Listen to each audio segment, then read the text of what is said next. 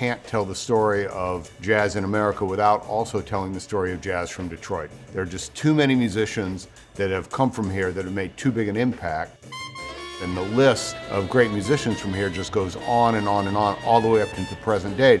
I don't think that Detroit jazz musicians have gotten their due as a group. Until you put all of these musicians together, you don't really realize how profound an impact that the city has had on the course of modern and contemporary jazz. And if you just look at the list of artists and you're a jazz fan, it's like, wow, all these guys are from Detroit?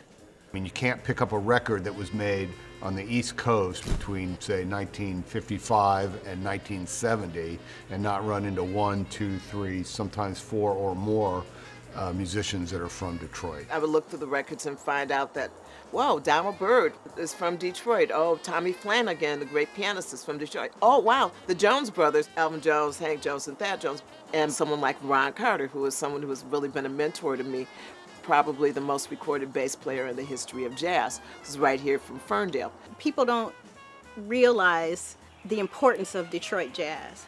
You know, of course you've got New Orleans, you've got New York, but then there's Detroit. You know, and it's just a little different. You know, it's a little different. The expe- the expectation is higher. When you say that you're from Detroit, they expect you to be a badass.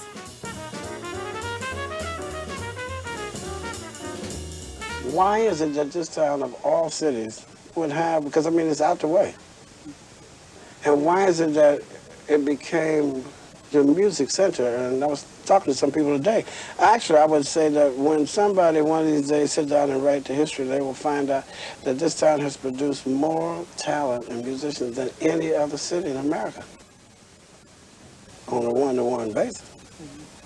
Now, when you got more people that come out of Detroit that are in the music entertainment field than any place in the world. Jazz is an expression of African American culture.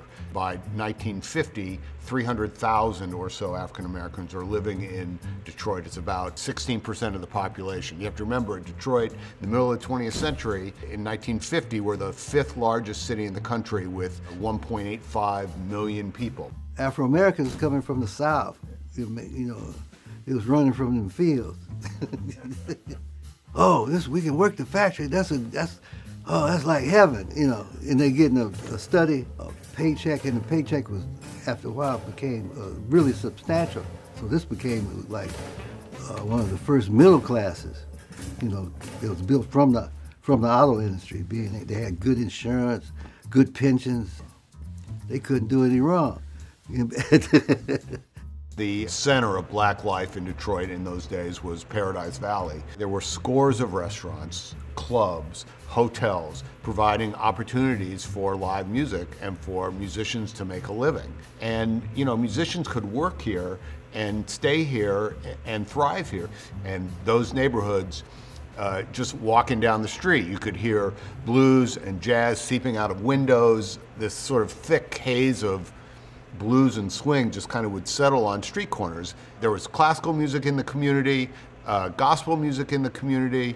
Detroit was a center for all kinds of musical activity. You can't underestimate the way in which this culture was saturated with music. Jazz is an expression of all of that.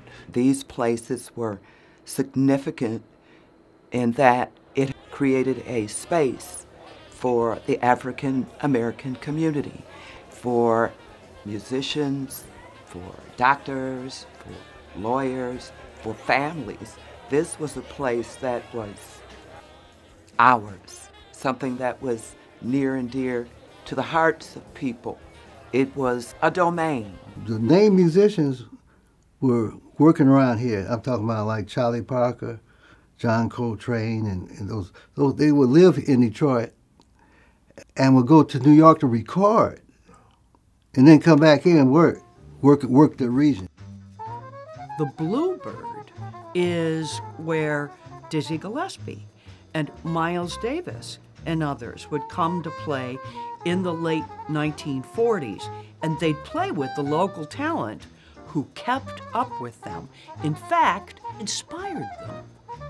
And, you know, they brought this energy